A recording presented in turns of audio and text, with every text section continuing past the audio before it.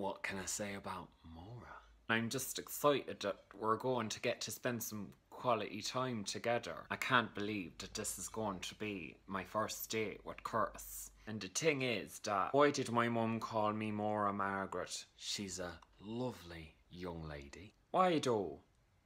I did slide into her DMs, but now I've slid into a vagina. It's a bit like the foxtrot, but um, wetter.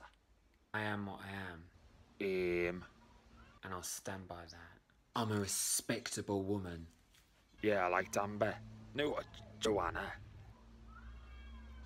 I'm just so excited to see where things go with Chris. That was good. That was like so good.